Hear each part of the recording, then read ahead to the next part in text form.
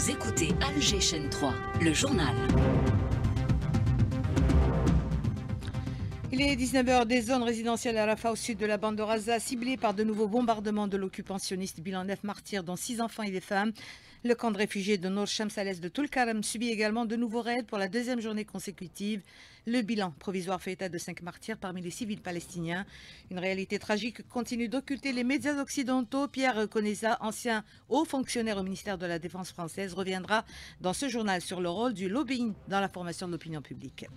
Cette fin de semaine a été marquée par une riche activité politique en prévision des élections présidentielles anticipées du 7 septembre prochain. Plusieurs leaders de partis politiques étaient sur le terrain ce samedi. Pour le Parti des Travailleurs, c'est déjà tranché.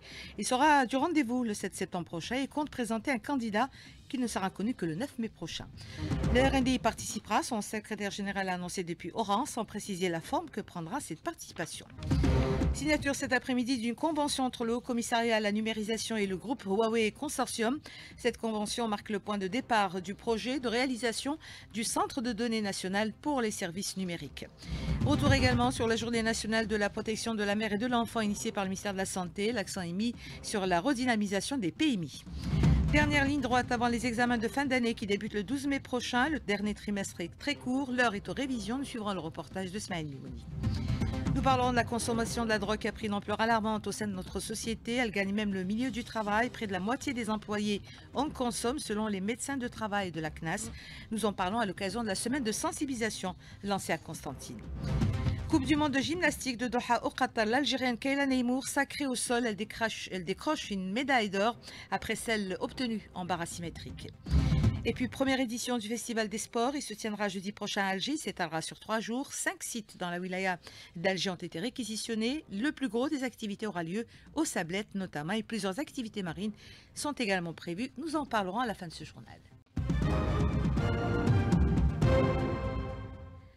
Mesdames, Mesdemoiselles, Messieurs, bonsoir. Merci de vous joindre à nous. Euh, direction Raza, où les forces d'occupation israéliennes poursuivent depuis hier soir leur bombardement contre des zones résidentielles à Rafah, au sud de la bande de Raza. Bilan euh, 9 martyrs, dont 6 enfants et des femmes. L'agression se poursuit par ailleurs pour le deuxième jour consécutif contre le camp de réfugiés de Nour Shams à l'est de Tulkarem. Le bilan provisoire fait état de cinq martyrs parmi les civils palestiniens. Et des experts onusiens tirent la sonnette d'alarme et affirment que la poursuite de l'offensive sioniste à Raza compromet l'avenir des prochaines générations des Palestiniens. Le rapport de ces experts souligne qu'à long terme, la violation des droits fondamentaux de la population palestinienne à apprendre et à s'exprimer librement va priver une autre génération de Palestiniens de construire son avenir. Et depuis le début de la guerre génocidaire euh, contre la bande de Raza, les médias occidentaux, alliés de l'agresseur israélien, ont entrepris une campagne de désinformation pour minimiser le génocide de Palestiniens et justifier les crimes de guerre perpétrés euh, par l'armée d'occupation sur les plateaux TV, notamment français. Les débats sont orientés. Le rôle du lobbying dans la formation de l'opinion publique, un décryptage avec Pierre Conesa, ancien haut fonctionnaire au ministère de la Défense française. En parle à Karim Hasnaoui ça a toujours été un lien qui a évidemment construit l'amitié franco-israélienne. Donc, si vous voulez, par le passé, ça se posait moins, puisque toutes les guerres précédentes, hein, la guerre des six jours, la guerre du Kippour, etc., la solidarité a été complète. C'est la première fois, si vous voulez, que s'exprime une distance critique. Ces argumentaires-là, qui sont les argumentaires historiques, les argumentaires génocidaires, il y avait un type qui disait, par exemple, moi, si je venais chez vous et je vous disais qu'il y a 2000 ans, mes ancêtres avaient habité là, est-ce que vous partiriez tout de suite? Vous voyez ce que je veux dire? L'argumentaire historique, cette terre nous a été donnée par Dieu il y a je ne sais combien d'années. Tout ça sont des argumentaires qu'on utilise, mais qui sont incroyablement fallacieux. Et l'image poignante d'une femme palestinienne berçant le corps sans vie de sa nièce de 5 ans dans la bande de Raza remporte le prix du World Press Photo 2024. Le photographe de l'agence Reuters, Mohamed Salem, auteur du cliché, affirmé, je cite, que c'était un moment puissant et triste à la fois. J'ai senti que l'image résumait au sens large ce qui se passait dans la bande de Raza. Fin de citation.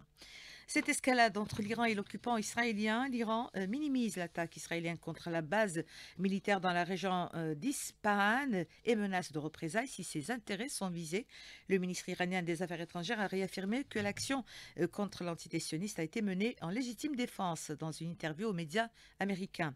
Hossein Amir Abdullah a déclaré que si le régime israélien faisait une erreur, nous lui donnerons une réponse immédiate, décisive et regrettable dans les territoires occupés. Pour Pierre Koneza, ancien haut fonctionnaire euh, au ministère français de la Défense, Netanyahou veut étendre le conflit pour préserver ses propres intérêts. Il le dit à Kalima Hasnaoui.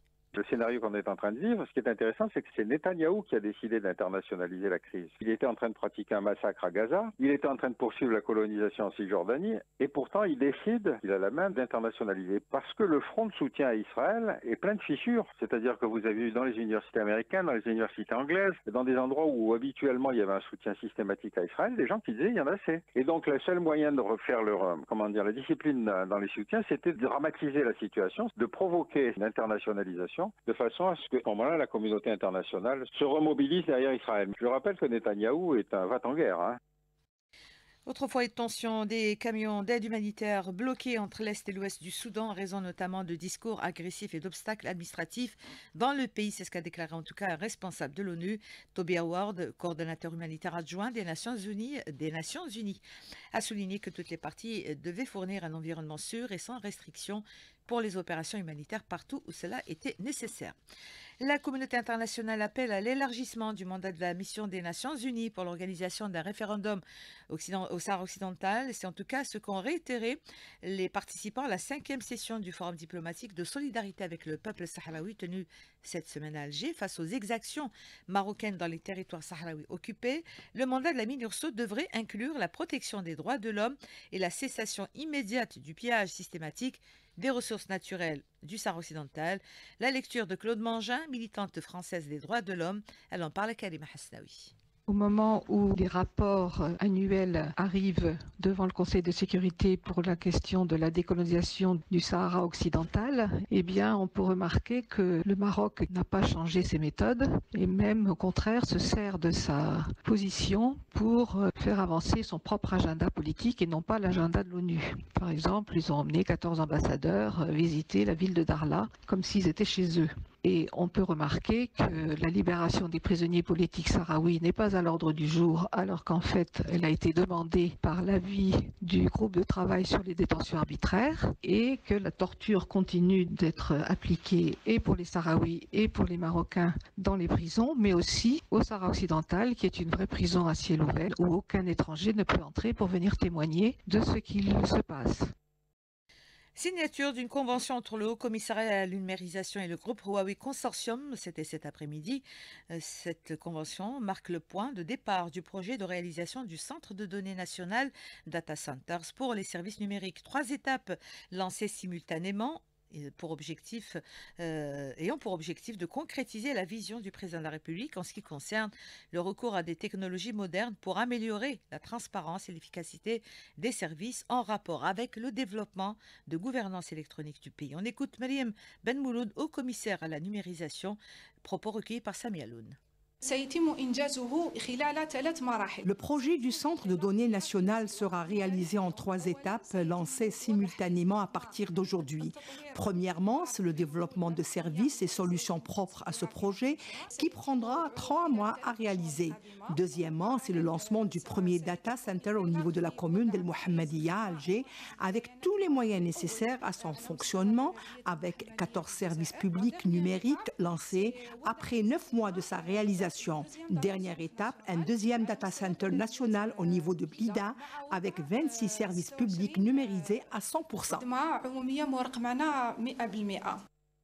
En politique, cette fin de semaine a été marquée par une riche activité en prévision des élections présidentielles anticipées. Plusieurs leaders de partis politiques étaient sur le terrain ce samedi pour euh, soit évoquer ce scrutin et annoncer leur participation ou pas au présidentiel. Pour le Parti des travailleurs, c'est déjà tranché. Il sera du rendez-vous le 7 septembre prochain et compte présenter un candidat qui ne sera connu que le 9 mai prochain. On écoute la secrétaire générale du Parti des travailleurs, Louisa Hanoun, propos recueillis par Sofia Boukercha. Le comité central décide de la participation du parti aux élections présidentielles du 7 septembre 2024 en présentant son candidat sur la base de son programme et de ses objectifs. Dans ce cadre et après avoir discuté du plan d'action et défini les objectifs politiques et matériels à atteindre en impliquant tous les cadres du parti dans la décision, la commission centrale décide d'organiser des assemblées générales dans toutes les wilayas Pour discuter de la décision et convoquer une réunion du Conseil national les 10 et 11 mai prochains, précédée d'une autre réunion du comité central le 9 mai pour décider de la forme et du contenu de la participation à ces élections, de son annonce ainsi que pour discuter de tous les détails de la campagne électorale.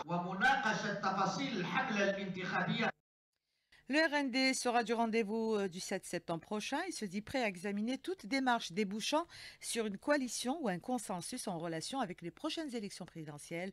C'est son, secrétaire général Mustafa Yahi qui l'a déclaré depuis Oran, où il a animé un meeting à la salle omnisport de la commune d'Essania. Le RND confirme qu'il est prêt pour participer et contribuer pour réussir les prochaines élections présidentielles.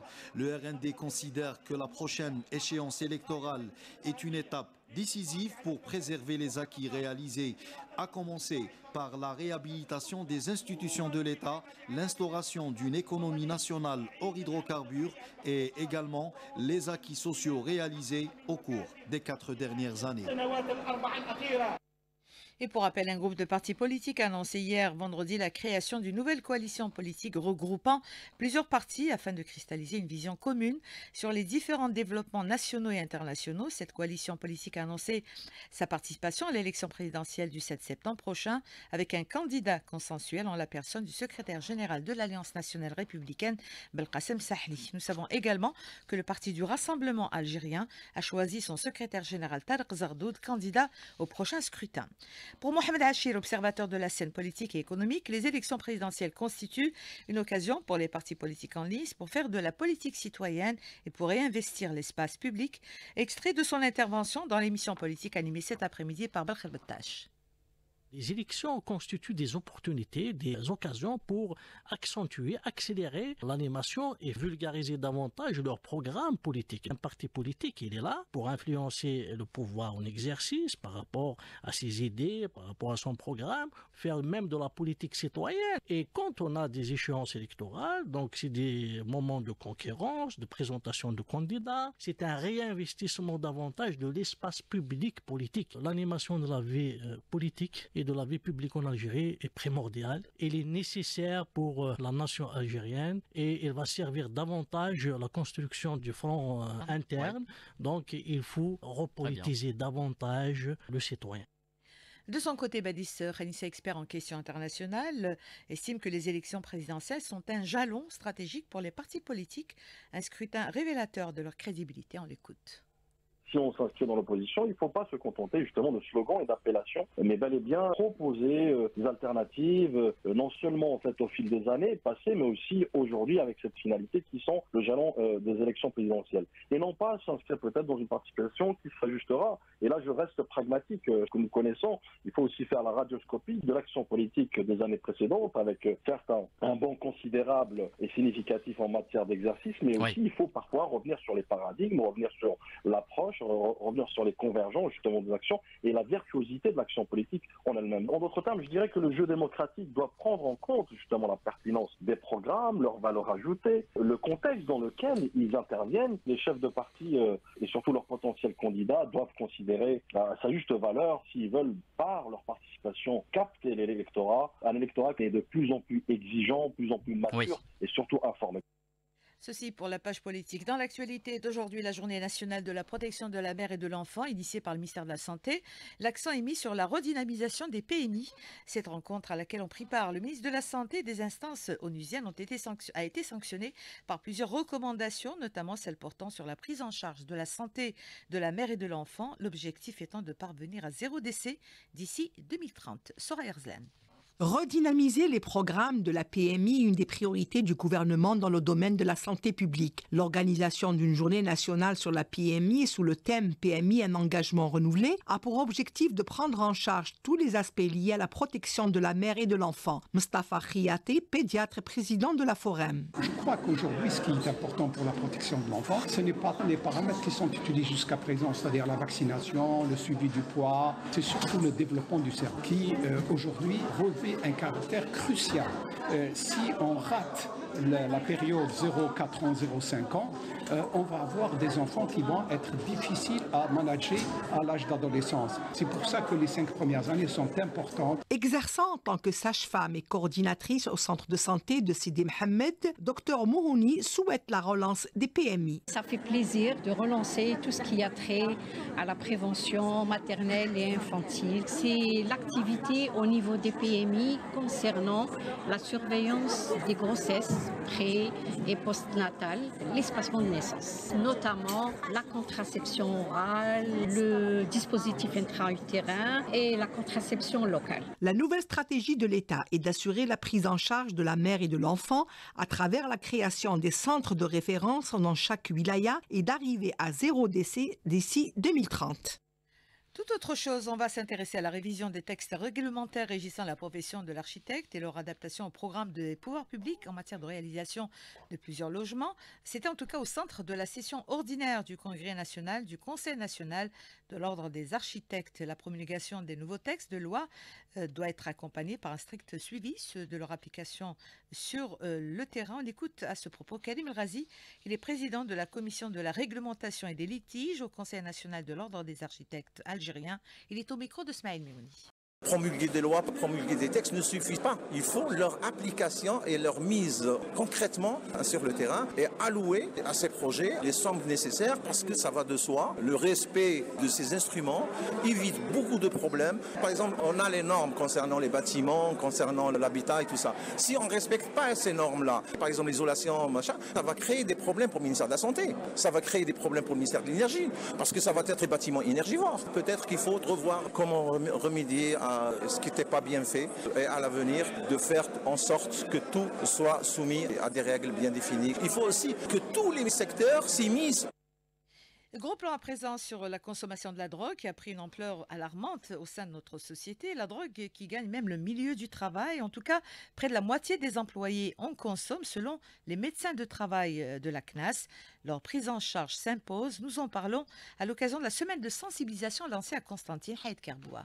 Cette année, ce sont donc les médecins nutritionnistes qui ont le vent en poupe, mais à côté, il y a tout un panel de spécialistes pour sensibiliser, orienter et pour une prise en charge adéquate pour un tas de pathologies dont l'addiction en tout genre. Amina Bellara est médecin de travail au sein de l'agence CNAS de Constantine. Elle parle de cette campagne de prévention menée d'abord auprès des travailleurs de la CNAS. On dépasse les 42% de travailleurs qui consomment différentes molécules et comme les molécules diffèrent, donc la prise en charge aussi diffère. Prendre en charge le travailleur et pourquoi pas l'orienter au niveau du CISA, le centre intermédiaire de soins en addictologie, par nos médecins addictologues afin de les aider à surmonter ce problème. Ça devient très dangereux, ça atteint même les écoliers. On doit le prendre en charge comme toute maladie chronique. Prévenir, c'est guérir et prévenir, c'est d'abord sensibiliser contre toutes ces formes d'addiction, en plus d'apporter à ces centres intermédiaires le nécessaire en moyens humains et matériels pour plus d'efficacité dans cette lutte contre ces addictions dangereuses. Constantine Hayat Kerboua, Algéchan 3. Et place au chapitre éducation pour parler des examens de fin d'année qui se rapprochent. Ils sont programmés à partir du 12 mai prochain. L'heure est aux révisions au cours de ce dernier trimestre très court. Smaïl Memouni. Les examens du troisième trimestre commenceront le 12 mai prochain. Les élèves sont-ils prêts, notamment ceux des classes des examens décisifs tels que le baccalauréat? J'ai commencé par les matières principales. Il ne me reste que histoire JO, euh, islamia, euh, philo. On n'est pas euh, à 100% préparé, mais il reste que les révisions finales.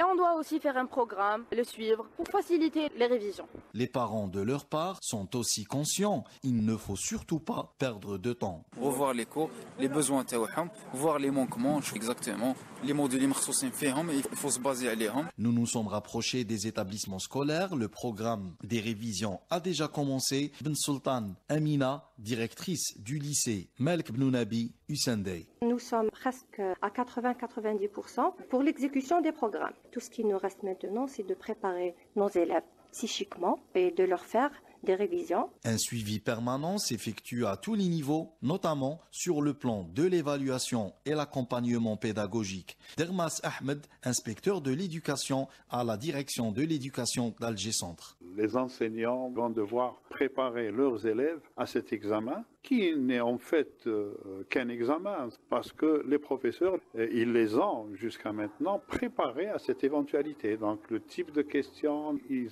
se sont déjà entraînés sur ça. Le troisième trimestre, une étape particulière dans le parcours des élèves, notamment ceux des classes du BEM et du baccalauréat. Tracer un bon plan de révision et l'appliquer à temps, synonyme de sérieux et de réussite.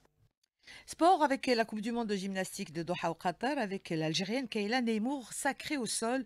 Elle a décroché en effet une médaille d'or après celle obtenue en barre asymétrique. Nous y reviendrons tout à l'heure dans le journal des sports. Alger qui se prépare également à abriter un grand événement, la première édition du Festival des sports prévu jeudi prochain qui s'étalera sur trois jours. Cinq sites dans la wilaya d'Alger ont été réquisitionnés. Il s'agit des sablettes du Sendé, de Babzoua, d'Ouad El Haraj, le parc zoologique de Ben Aknoun et le parc Dounia avec différentes activités sportives dans chaque site, le festival est ouvert à tous. On écoute Reda Denis, conseiller du Wali d'Alger, s'exprimer. Il s'exprimait lors d'une conférence de presse aujourd'hui, une conférence consacrée à cet événement. Ce festival est très important. Il permet de mettre en valeur les nouvelles infrastructures et les nouveaux espaces sportifs que compte la capitale. Pour cela, les autorités de la wilaya d'Alger ont programmé un festival qui va assurer les différentes disciplines. Après la fin du festival, ces espaces sportifs resteront ouverts au public durant toute l'année. 400 personnes assureront l'encadrement des jeunes et des familles qui auront le choix de pratiquer plusieurs sports et activités activités. Fédérations et associations superviseront ces activités. Voilà, 19h21 minutes, c'est la fin de ce journal. Merci à toute l'équipe qui m'a accompagné, à Fatah Mokhour qui était à la réalisation, Amine Samir à la technique, merci à Mouni qui était au streaming et Houssine à la régie. Dans un instant, la météo avec Amine Mounir. L'information revient à 20h. Premier flash de la soirée avec Karim Wali. J'aurai quant à moi le plaisir, je l'espère, de vous retrouver jeudi prochain à 19h. D'ici là, portez-vous bien et merci de nous rester fidèles.